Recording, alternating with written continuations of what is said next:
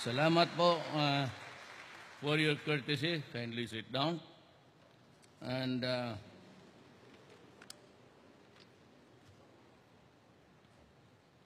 this is a very good uh, written speech.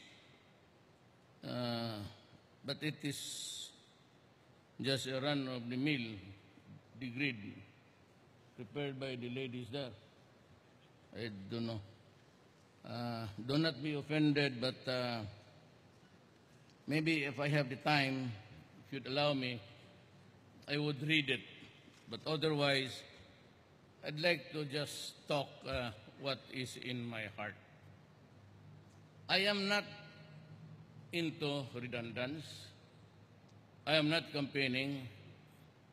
I have hit the, the end of my political career, at least uh, this period of time. I cannot run anymore. I do not know where to hide after this, uh, what I will do, uh, and find out if I can marry again.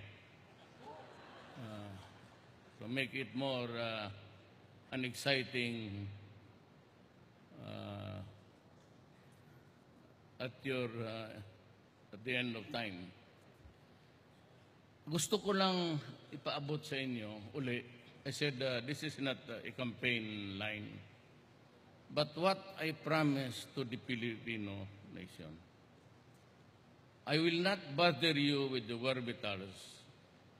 But even I, ako mismo, was in wonderment when the results of the elections came in.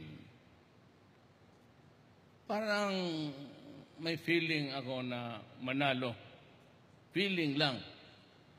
Hindi ko masabi manalo ako. But I never expected to get the votes, the 15 million plus the 6 that was my margin, over my next opponent. So I started to wonder, and my wife is a Baptist. So sabi right after the morning, hinalikan niya ako, pati yung anak ko. Ah, sabi niya, pa, mayor ka, ah, presidente ka na ng Pilipinas. You know, I, mayor ako, kaya ko lahat. It's a small town, a little prodding there, a little urging there, and a little maybe sapakin mo, and everything will be all right. Now, if you want the kind of government on the local levels and everywhere, you have had the chance to go to Davao City, and tignan ninyo.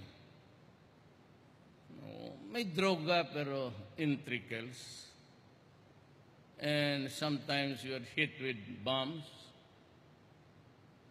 And of course, uh, the people remain to be poor. Majority of our countrymen are wallowing in poverty. Hindi na ho ako magdrama sa inyo, but I am also a son of a poor man. Otherwise, my father would not have ventured into Mindanao for a greener pasture. So umalis siya sa Cebu because there was nothing there in Danao. But after he was appointed as military mayor, and you can read the files, he was once upon a time the military mayor of Danao right after the war. But he saw the futility of competing with the Duranos, with the Almendras, if you are just nothing. So kaya pumunta kami ng Mindanao. Of course, my mother is a Mindanaoan. Pero sa kahirap ng buhay, we started also from scratch. And it was a long, hard life for us.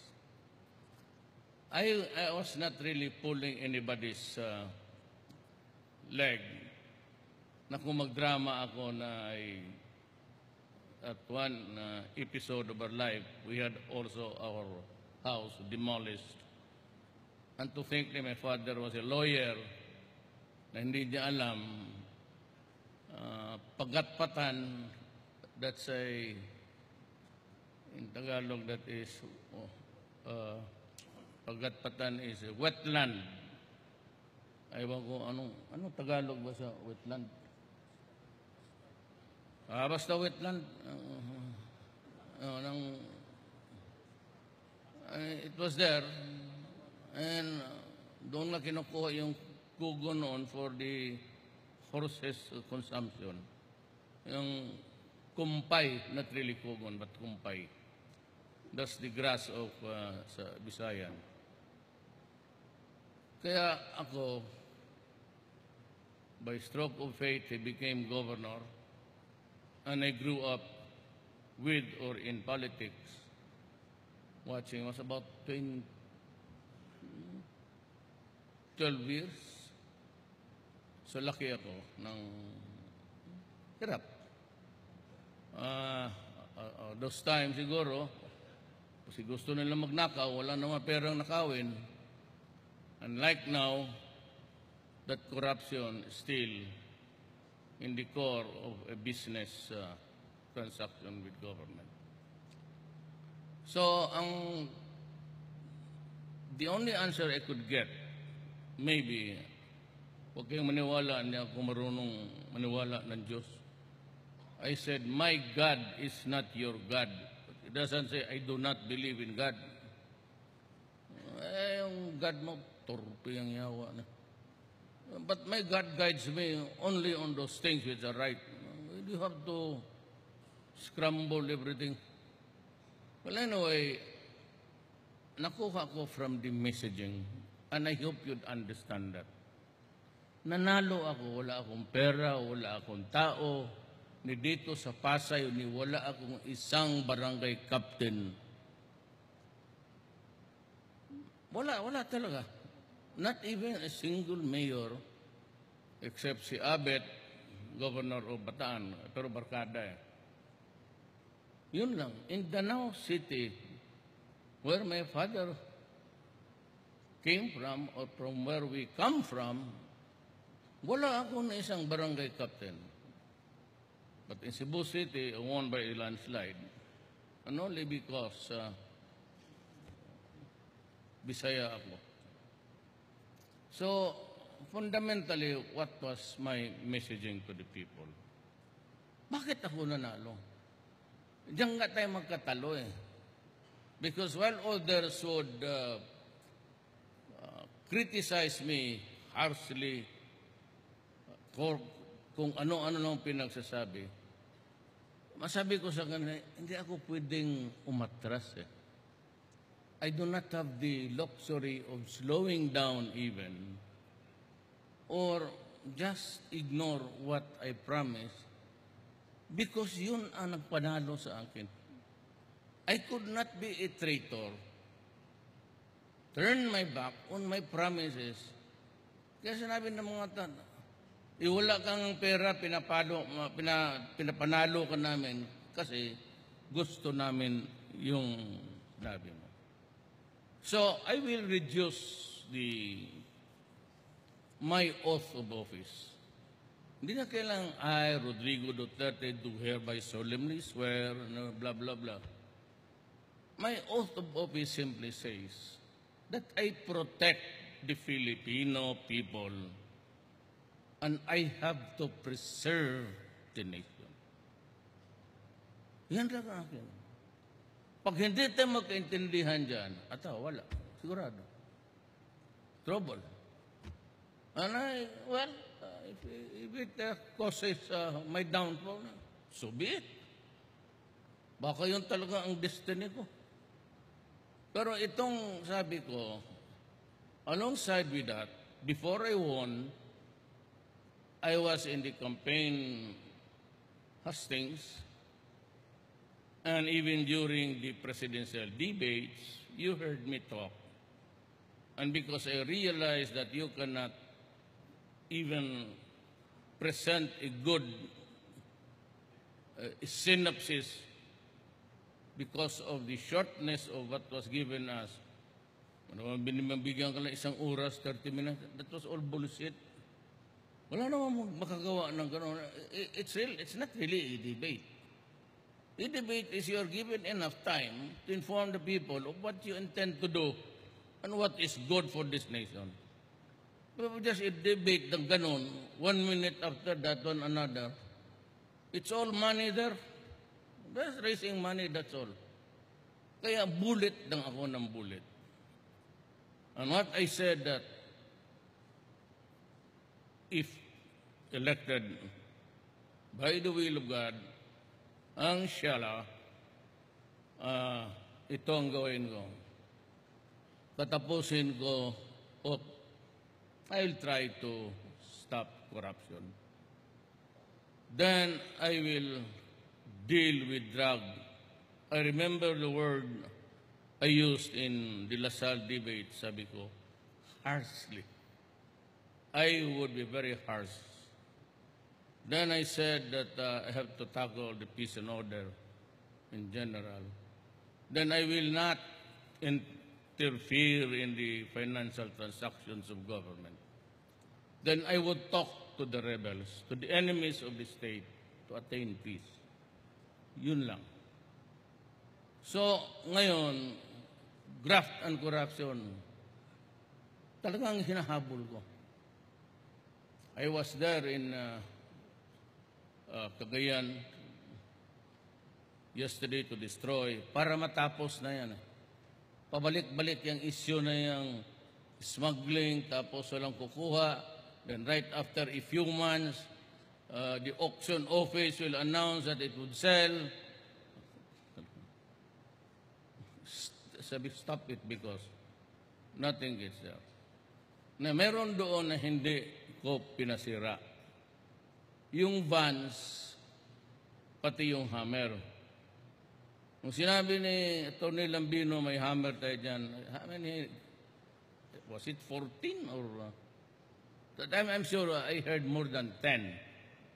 I could not exactly remember what was the figure. But I said, do not destroy it because I'll give it to the military and the police for their use.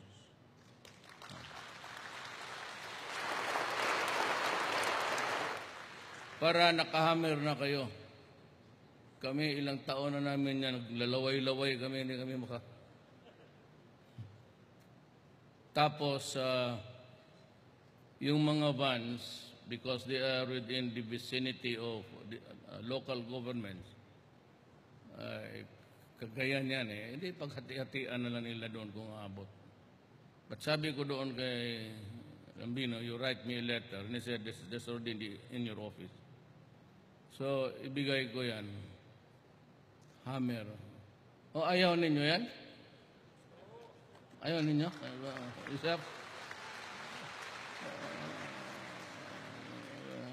Ayaw ninyo, ibigay ko sa barangay captain yan. Pagbili pa ng ulol yung putang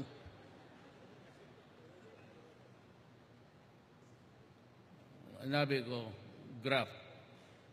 Then, I, kagabi, pag uwi ko, yung importation niya ng bumper, ah, hindi na siya nagbayad. The whole amount, that said, uh, hiningaan lang siya ng 5,000. Walang resibo, wala lahat. Sabi ko, you identify the employees sa Bureau of Customs. And I will call the idiot. Bakit tinawagan na? To come to Manila, to my office, kami mag-usap. Do not use government funds in coming here. It should be unofficial, private. Dalhin mo yung chief of office mo. Kasi mayroon talaga rin yan siya. Hindi magyari yan kung corruption o lang, kung signal lang. So the corruption is still malawak, talagang malawak. And even in the local governments, mas grabe. Sabihin ko sa inyo. And it's the very thing that is really pulling us down. Corruption. If I can make just even a dent or give the Filipino a respite of corruption, what's happening ever since, okay na sa akin. Sabi ko sa kanila, pumunta kayo dito bukas. Gusto ko kayong usapin sa opisina ko. And I will call PTB4 to broadcast live our conversation and I would ask them, bakit ito nakalusot itong bumper na ito? Just give me the paper. Eh, saan ang pera nito, the corresponding payment? So if you cannot produce that, Basilan is waiting for you. Saluin mo na lang lahat ng IED doon araw-araw. And that is also bothering me. So anyway, uh, tapos yan druga. That was the second promise sinabi ko. At na, I, I, I curse, I, I throw epithets. At uh, streets lang. Yung kung anong lumalabas sa bunganga ko. Kasi galit ako. Ngayon, hindi na masyado kasi marami na mas magalit kaysa akin. Noon ako ang galit. Di ako ang nagmumura. Ngayon kung magmura ako, pati itong obispo, anong po, galit rin sa akin. Pati mga pare. So, sige, pagalitin ko na lang kayo, shut up na lang ako. Pero sabi ko itong drogas, as I have, that's my favorite line. D- drugs can kill a country. Itong droga na ito malawak. Noon milyon, ngayon bilyon. And the number of persons, dyan makita mo sa TV Patrol, yung clock crawlers ng DZMM, it's being shown or live cast uh, 24 hours. Kikita mo doon ang druga, pati ang... Sabihin pa na itong mga human rights. But let me answer them in a very courteous way. How about my soldiers and policemen were also killed? Remember that Marawi thing started in a service of a warrant of arrest in connection with a drug case. What precipitated the trouble there was initially about drugs. And I have lost several hundreds of my soldiers.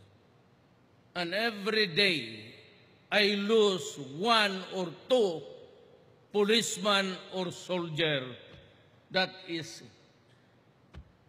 events or incidents connected with drugs. Bakit walang bilang? Ano, bakit lahat na lang eh, 700 killed? They do not give a reason why. Sino yung pinatay? May I just ask, o sa mga extrajudicial killing, you can even prove it. Basta may namatay dyan na ano, extrajudicial kill mo, tarantado to mo. Diyan lang siya, ano, muray mo. But not for the former president, with due respect, sir, bullshitting itong mga yawa na ito. Paano yung mga sundalo ko? O paano yung, sabagay, tabla na. Yung nagsaksak ng ombudsman. Buntis pa. Pero sa awa ng Diyos, patay na rin. So, tabla lang. Yung sa Davao naman, bumili lang bata ng load, pinatay niya. Pero believe ako, ang inagaw niyang baril while being fingerprinted, buntis lang. Police woman, buntis lang, inagaw ng baril, patay. Kung mahina itong gago na to, hindi wala sa kaya isang pulis. Minsan yung ikaw, son, how many equalization did you purso also? Eh, lahat man kayo, arte-arte lahat man tayo dito. Hindi, hindi ka pwede mag-survive itong milyon na itong Pilipinas kung hindi mo... You're, uh, sabi ko, do not destroy my country because I will kill you.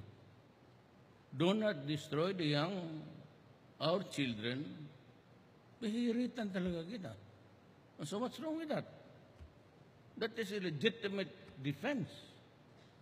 Do not. There's the condition, do not. So hindi ka na mamamatay kung hindi ka do not. Uh, human rights. But I kept my defense all along while they were investigating me. Alam ko na kung ano ang isasabi ko. Kept it a secret because I know na lalaki pa na laki. It was not until after uh, yung commissioner mission ng Human Rights Commission ng UN, sabi niya Duterte needs to be looked, uh, to be examined by a psychiatrist. I was preparing for my sagot ko. Ito, kakating, kat, makatikim talaga ito ng mura. Butan. Just like the other previous. Nung narinig niya, sabi niya, wag, wag. Relax ka lang dyan. So bakit, sir? Sabi niya, wag kay bigyan tayo ng dalawang kubra niya helicopter. Baka hindi ituloy.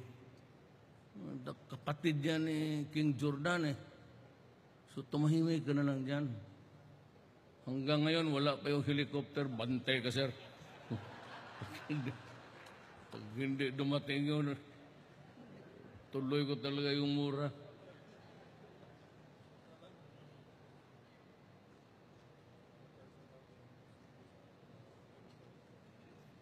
Ako naman, ah, nobody should begrudge me when I say that uh, we have a very limited source of ano sa mga intel. As a matter there is only one country that I have been insisting na dyan lang kayo. Hanggang. Because I think this country is too far away. The proximity is quite distant star. There will be no, no more.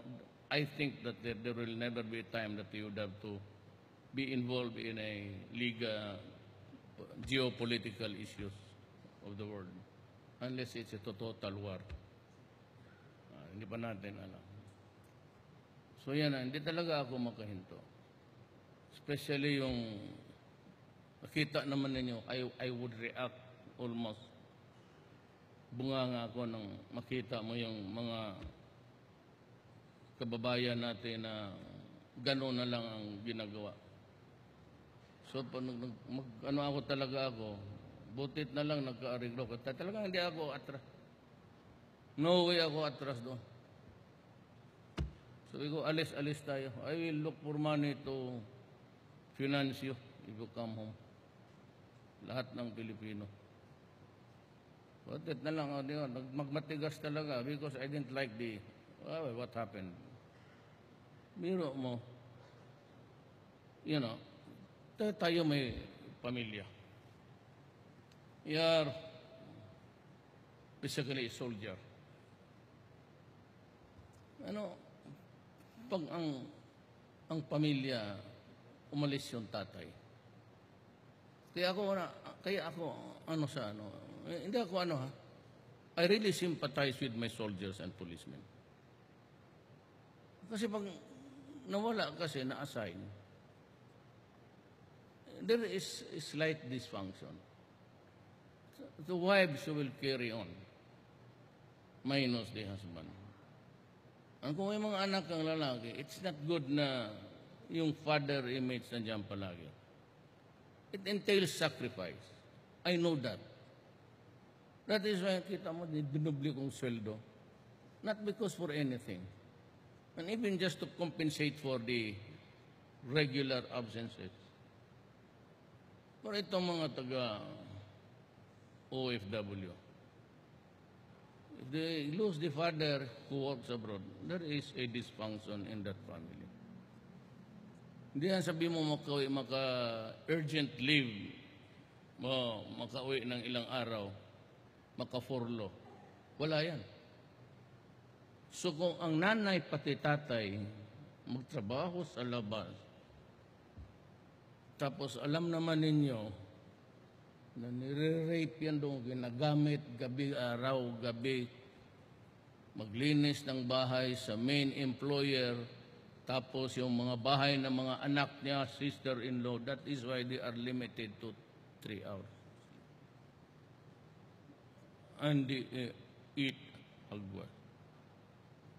Kaya yung kondisyon ko na uh, seven hours of sleep, no confiscation of passport, no confiscation of cell phone so that can, then they have a day off and they can eat their own food, cooked by them. Nung pumayag, sabi ko, okay, okay na ako. Pero kung hindi lumusot yun, sorry.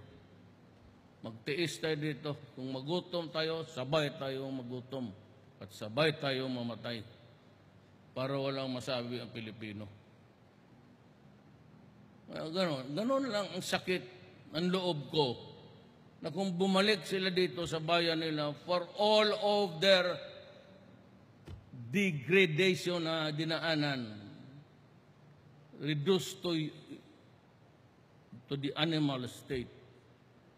Tapos yung sweldo nila na pinapadala dito, eh alam mo itong mga put, pag malaman ka dyan na meron kang allowance, talagang sinasal hanggang bumigay yung bata.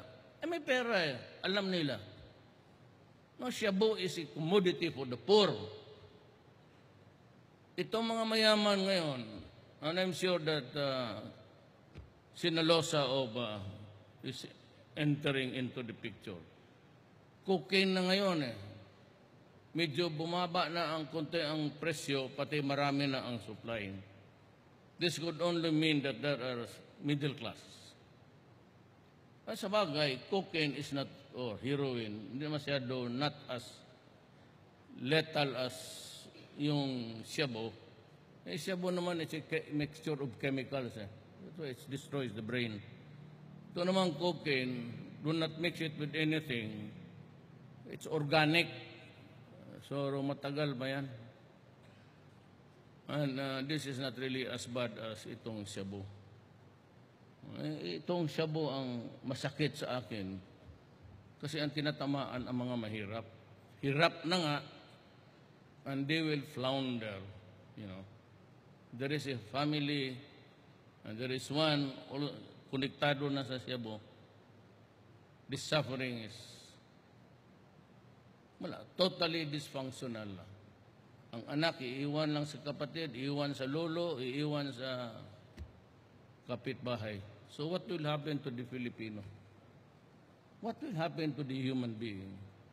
Sila, because they never tasted hardships, they have not experienced bitterness in life.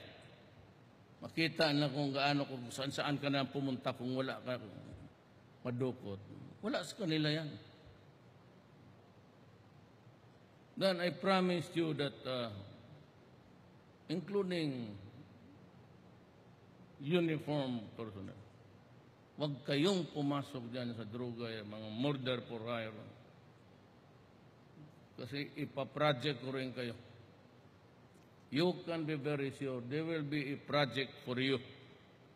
And really that is to neutralize or terminate you. Kung hindi ko ganunin, walang mangyari sa ating bayan. At this time when we are all bombarded with drugs, nobody seems to obey the law. Alam mo kung bakit ngayon?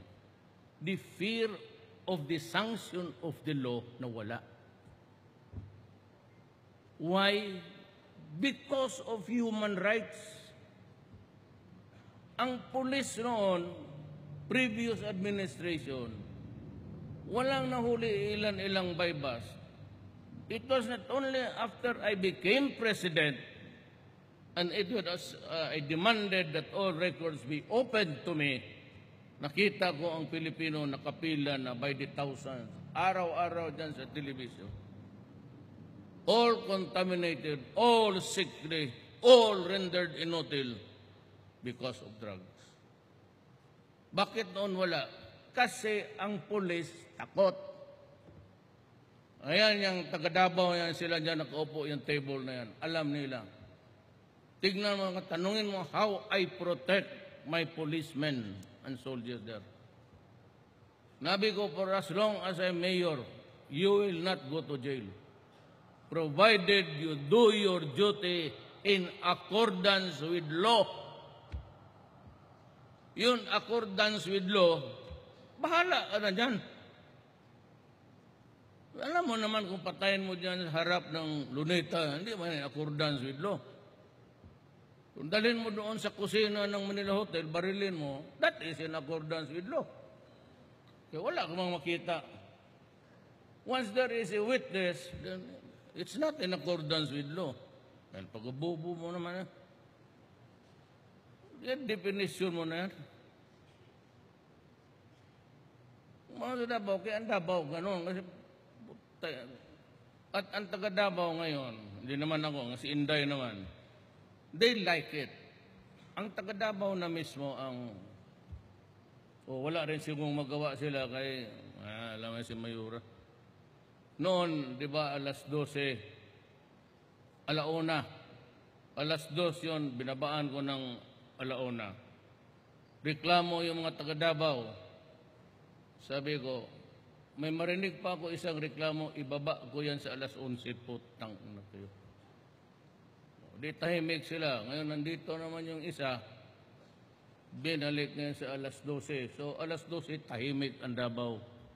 Birne Santo talaga. Eh, punta man kayo doon. Wala na kayong mapuntahan. Kasi yun ang dapat para sa Pilipinas ngayon. No, Davao, parang may curfew kasi magtambay-tambay ka dyan, maglakad ka, loitering, patay ka. Basi, basi pantakot na lang. Never mind about the act- actual uh, reality. It's enough that they are really hesitant to do it because they might violate the law. Yung man sana ang gusto ko para sa Pilipinas. Eh, pero I realize na ito. Pero itong corruption sa executive department sa akin, tayo, ah, mawala yan. Ang hindi ko kaya, of course, I'm not saying that Congress is into it, but yung, saka yung local government because mine is only supervision, but not control. But pwede talaga kitang ipitin. Sabi si John Anya is a very strict guy. I can either suspend you or I can just dismiss you from the service. Ang ombudsman, kaya niyang gawin. Ang sandigan bayan, kaya niyang gawin. Di unahan ko na kayo. Bakit pa ako maghintay? I will just suspend you for as long as itong mayor na may ano may uh, control sa police.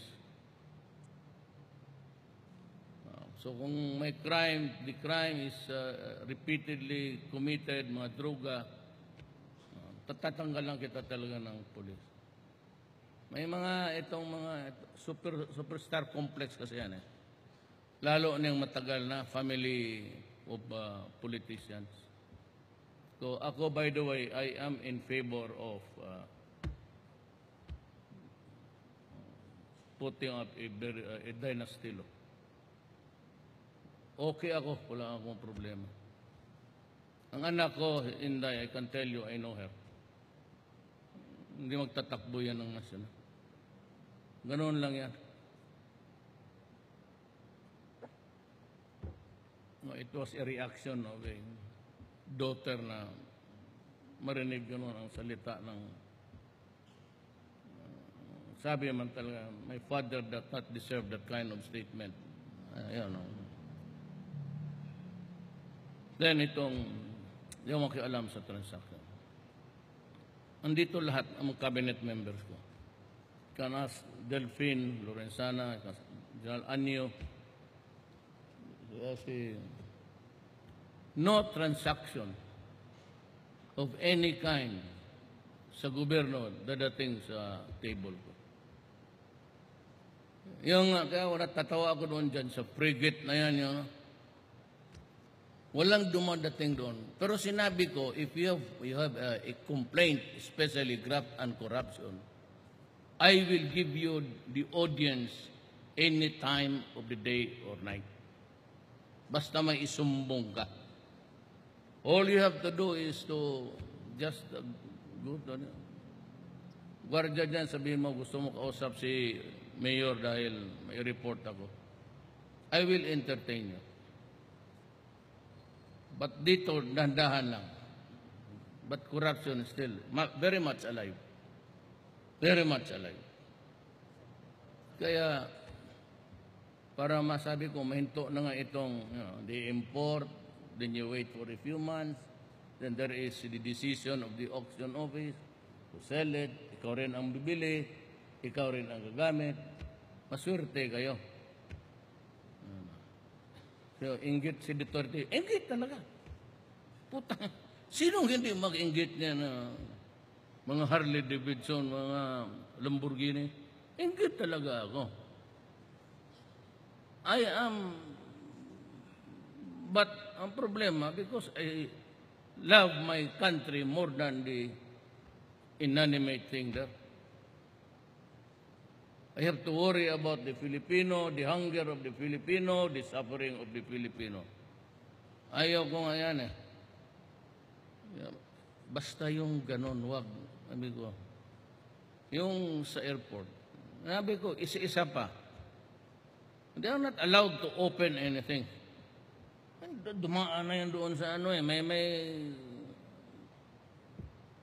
Machine naman doon, pag akyat na doon sa conveyor, tapos na yan. Why do you have to fuck the bagay ng tao? Ay, ayaw ko. Yung kuna ng mga, ay, ilang beses akong dumaan. Tignan mo kami. Ilang taon ako mayor? 23 years. Naging congressman ako, one term. Vice mayor, one term. Punta ako kami ng Hong Kong kay pamilya. Yes, Mayor. Hindi, hindi. Tumagdating dito, kasama ko, galing rin mga Macau nag-umuwi. Kung anong gagawa. Dadating yung araw ninyo, tignan. Eh ngayon, sabi ko, do not lalo na maliit. Mabuti pa ang galawin mo yung mga mayaman. Huwag bang nagsumbong yan sa akin, sabihin ko, mayaman ka man, putang ina ka. Bigay mo na yung iba. Totoo. Yung mga multi, baske, baliktarin mo yung mga private planes na wala kang marinig sa akin. Puro yung maliit na, walang matakbuhan to eh. Ito, they don't care. Pag gano'n niya, o Adre, oh. Yun na yun. Itong maliliit, walang maibigay. Kaya yung dalawang manager dyan sa dalawang airport clerk, sinabi ko talaga, one more time. Diyan si Art Tugade. Dito si Art. Ah, sarap niya, sabi ko, one more time.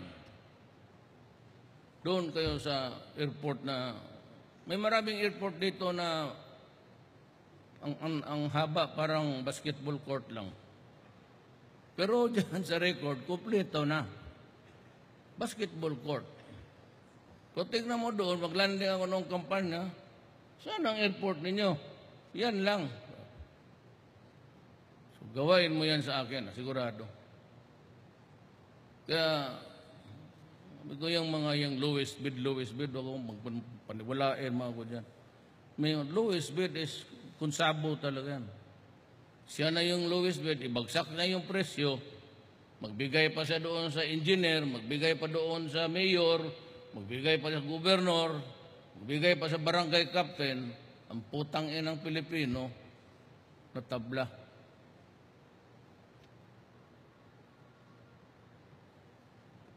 Ngayon, kailangan, either they come to terms with me or magulo talaga itong biyahe ko as uh, ay kung makaabot ako ng katapusan na ano. Then I said, I will talk to the enemies of the state. I tried with season. Putang na sobrang yabang naman. Ay, hindi ko na pinansin. Ayaw mo, hindi wag. Sino ka ba? Who are you? Yung iba, and uh, the MILF uh, leadership is here, I'd like to thank you for coming to terms with us, and uh, I recognize your efforts. Uh, the Filipino people will remember you for all time. Si Nor naman, is biding her time, niya, it's his time. Niya, mag-usap na lang tayo and it is there. And I hope that uh, he has mellowed a lot, but I, I hope uh, we can talk sense and maybe. Ginawa ko naman. Yun, sabi ko, corruption, drugs, sabi ko, law and order. I will talk to him. Tapos sabi ko, wala ako. Wala ako, kaya ako magmura. Yung inquirer na yan, pati ABS-CBN, wala silang masilip sa akin. Walang transaction magdating sa opisina ko. Baski baliktarin mo yan. Ah, exactly prohibited, Ibran. Yung project nila ni Duresa, ni Lorenzana, ni Anyo, it begins and ends in your office. Dito ka sumagot sa akin. You do not have to explain to... Answer me first. Bakit may corruption? Sawa ng Diyos. Puro matino ano. Huwag kayo maniwala dyan sa... Now let's talk about Faildon. The reason why I am hanging to Faildon is this. Early on, I will reveal it now. It was Faildon who whispered to me, yung mighty king, may racket dyan. Sabi niya, sir, billion yan, matagal na. Kilala mo man yan si... Sino yan? Isa pa yan? Giro. Kala mo mag-asta. Akala ko nung NBI yan. Kaya kung nalaman ko lang yan ang... Alam mo sabihin kong ginawa niyan? Mayor ako. They were passing the syntax law. Ungab was made sa... Kasi Aquino kami. Ginawa siyang chair sa appropriations. Nung nagde-debate sila ng syntaxes, pumunta itong yawa na yan. Mabutit na lang kasi mista daw kami, 1967. Oo no, sige mista. Di. Wala, mista, kain tayo. Pinang, kain kami. May dala-dala siyang bag ng ganun. Pera ba yan? Huwag iwan ha. Ay, di. Kala ko pera. Tapos kain, may iniwan sa sabi niya, ikaw na ang bahala. Di, hindi ko rin na ano, may kausap ako. Tapos sabi ni Bong, Mayor pera ata yan. Putang ina, tignan mo. Pera nga. Sabi ko bang habulin mo? Sabi mo siya sa aeroplano na, sabi mo, putang ina yung pala yan. Baga, bigay mo. So, nandyan sa security camera. Umakyat si Bong, binigay talaga yung bag sa kanya. Kasi gusto niya lowered. So may experience na niyan ako. Nung sabi ni Paildon, sabi ko pag-aralan mo. Sabi ko kay Sunny Dominguez, ka- kami lang muna ang tatlo. So sige, yariin natin to. So, you know how much we got from Mighty King? 40 billion. Ah, kung itong paildo na ito, interesado yan sa pera, eh bakit hindi niya sinakyan yun? I mean, he was, uh, was uh, hindi naman na-swallowed, but medyo nalusutan siya doon. I don't know. Datong sila Sid Lapenya. He was my chief of police for the longest time. Maniwala. Ano. Matiti. Dulay was my ka-roommate ko yan. eh. Puro Ilocano yan la- lahat eh. Kasi kabinet na, dalawa, tatlo na lang kaming Bisaya na iwan. Puro Iloc, puro Ilocano na ang kaharap ko.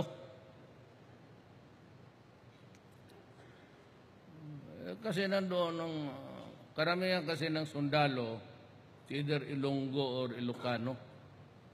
Mga general, kailangan tangkap Pangasinan. Kasi paglabas niya, karga-karga ng nanay, ano, general ito balang araw.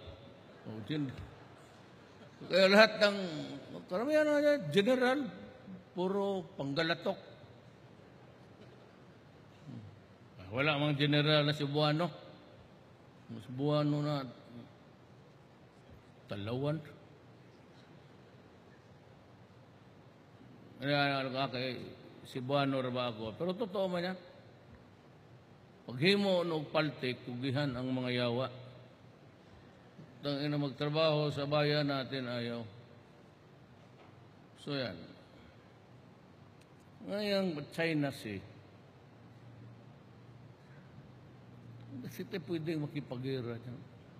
I will not waste my lives of my soldiers and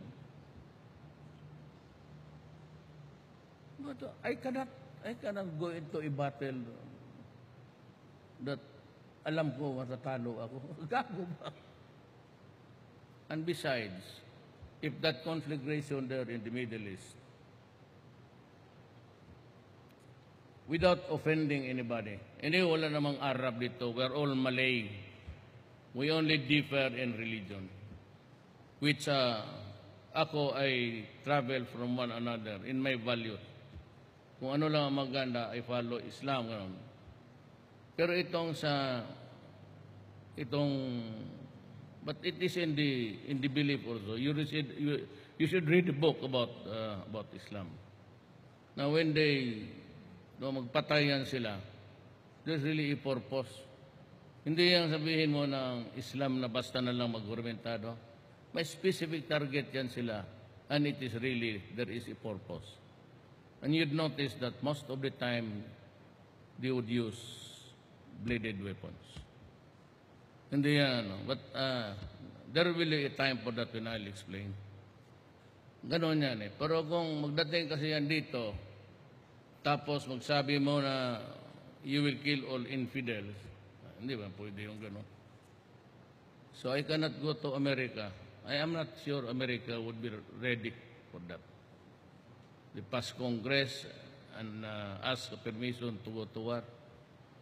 Marami, eh, pahirapan lang akong ang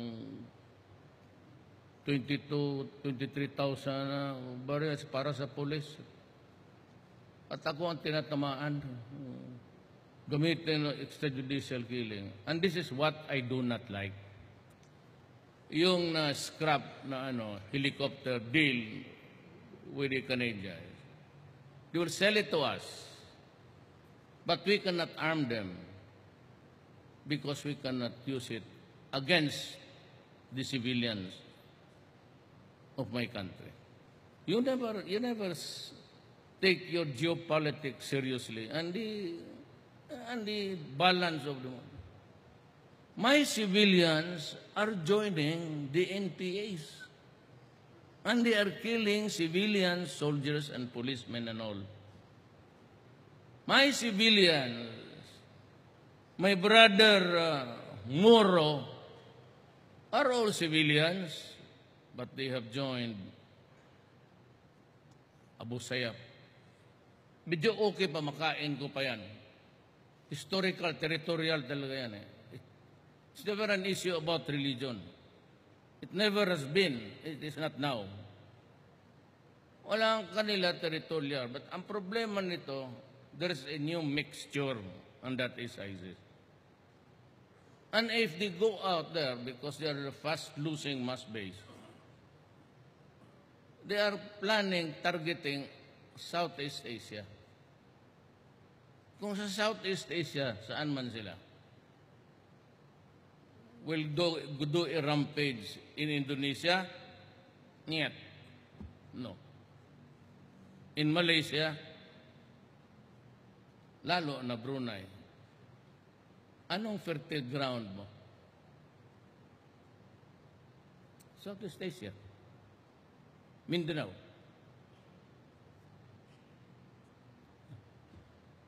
You want to kill infidels?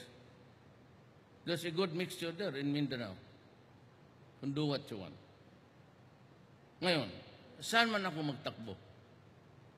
Can I call immediately with the flip of my finger? Canada? NATO, sabi nga na, sabi nga na, it's no longer, sabi ni Trump, it's no longer operational. Where- where's my immediate? Where do I get the rockets? Where do I get the thing there? China. Walang iba. Unless I go to state visit sa North Korea, kaibiganin ko na lang yung, baka pareho yung ulo namin sira. O di magkaintindihan kami. What do you do with your enemies, uh, like your father, your brother, father-in-law? Oh, I fed him to the dogs. Uh, we, I feed them to my fish pond, Manila Bay. The here are regenerating much stouter. So yan ho ang message ko ay wala kasing itong baka magalit. Huwag na magsama. Ang problema ko magsama ang loob.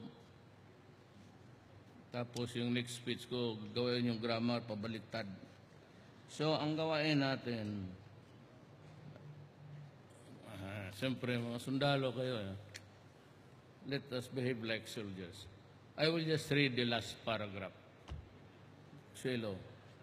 We will see to it that the, that the nation that we hand over to the next generation of Filipinos is one that is more stable, harmonious, and progressive.